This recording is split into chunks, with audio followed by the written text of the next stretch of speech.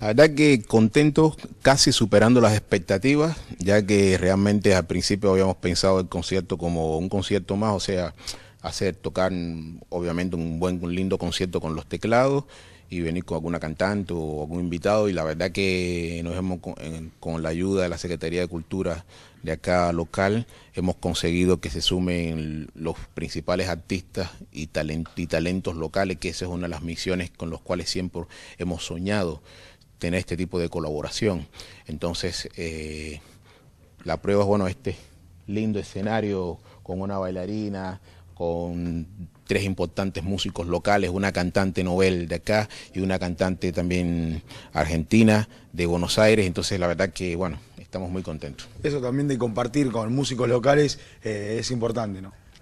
Yo pienso que si depende un poco, eh, la filosofía mía siempre ha sido poder sociabilizar la música. Eh, yo hago una música que en principio tiene un trasfondo diferente si bien yo soy un artista clásico, soy un artista que hace música popular cubana y recreo mucho todo lo que es toda la cuestión de la América Latina y los ritmos folclóricos, los ritmos nacionales con acento popular, los recreo en un marco, digamos, clásico, por darle una, una característica y esa es la diferenciación. Ahora, también me gusta sumar el apoyo local, porque soy del criterio que hay mucho talento, que no siempre tienen ciertas oportunidades de poder compartir con otros con músicos de otras experiencias, con otras de otras latitudes y eso va enriqueciendo y va creando como un lenguaje común, que es en realidad lo que tenemos que tener todos los pueblos de América Latina, un lenguaje común sin eh, perder la idoneidad y sin perder, por supuesto, las características propias que tenemos yo como cubano,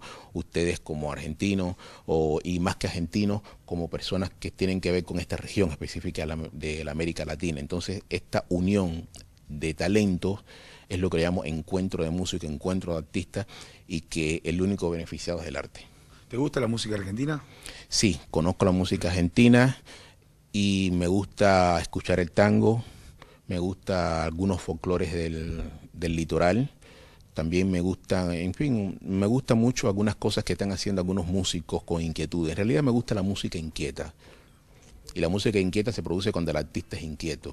No me gusta la música que ya está totalmente producida a los, no sé, a, esos ritmos que yo llamo bochornoso, por decirlo. No porque el ritmo sea bochornoso, sino porque se convierte en todo una especie como de cosa prefabricada prefabricada donde eh, si alguien tuvo o no talento no se sabe porque no se sabe de quién es, no se sabe si la, si la persona es peruana o si es eh, de Cuba o si vaya usted a saber de dónde es, dominicana, no. A mí me gusta que cuando yo escucho a alguien se siente el sabor, es como cuando es como la comida.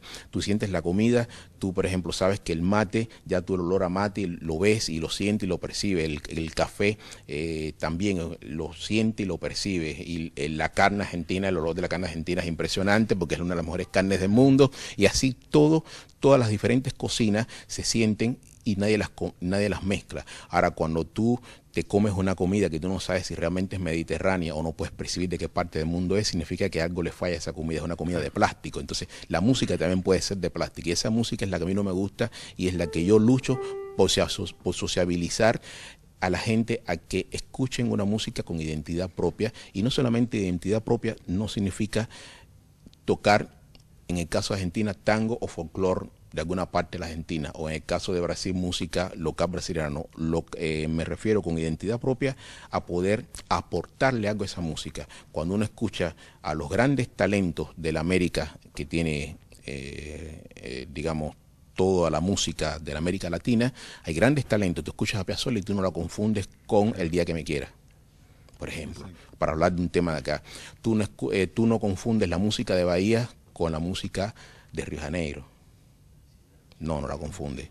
Entonces, es eso lo que yo quiero eh, buscar y por eso cuando yo sumo a los músicos, yo trato de que todo esto se sienta. Y cada y que, lugar tenga un toque propio. Y que cada persona cree un toque propio. Y que, y que cuando nosotros toquemos un tema que quizás sea de algún autor como Santana, la gente sepan que es mío. Y no es de, es de Santana, pero la versión es mía. Y eso es lo que yo voy a tocar hoy. Todas versiones mías, que a lo mejor partí de un original, de Santana o de Herbie Hancock o de otros compositores que van a hacer galas acá, pero es mi versión y ese sabor es mío. Eso.